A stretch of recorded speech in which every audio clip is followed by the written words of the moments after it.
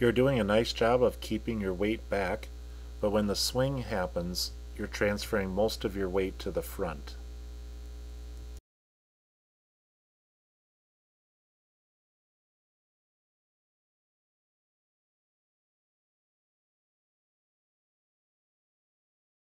And when you get to this point right here, your feet start moving and you're stepping out and then trying to swing.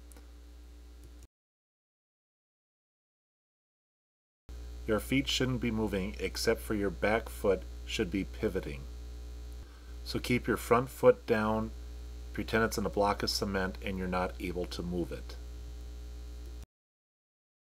Here we have Al demonstrating a correct swing. Notice the hands are comfortable the bat is at a 45 and not wrapped around his head. He has a good swing throughout.